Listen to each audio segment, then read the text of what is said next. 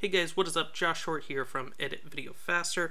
This tutorial is on how to change the thumbnail uh, of a clip in a bin in Premiere Pro. So uh, we have some clips here in a bin in Premiere Pro. We are in the kind of thumbnail view instead of the list view.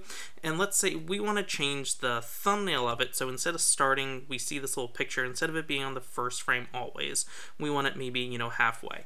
Uh, for example, maybe they have the clapper and the clapper isn't in in you know the shot when you know record was hit and then they move it in then they clap. Let's say you want to change you know the starting frame of this thumbnail to the clapper or whatever it is uh, somebody walks in frame. So we can do that so it's not just always on that first frame. So uh, once we hover over we can right click in here and then go down. And it's actually not thumbnail, it's called a poster frame. So we go here after we right click on the clip, hit set poster frame, and wherever we were, that's the new poster frame or thumbnail for it. So if I switch clips uh, and hover, hover over a, a, different clip, it goes to that poster frame thumbnail uh, of that clip that we set it to.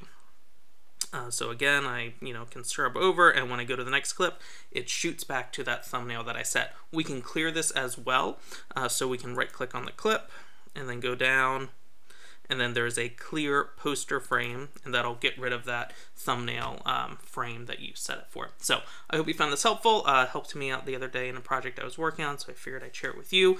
Um, I should be back with some other new tutorials soon. Uh, please give this video a thumbs up. If you did find it helpful, just hit that subscribe button to see more videos like this one, and I'll see you all around in the next video. Bye.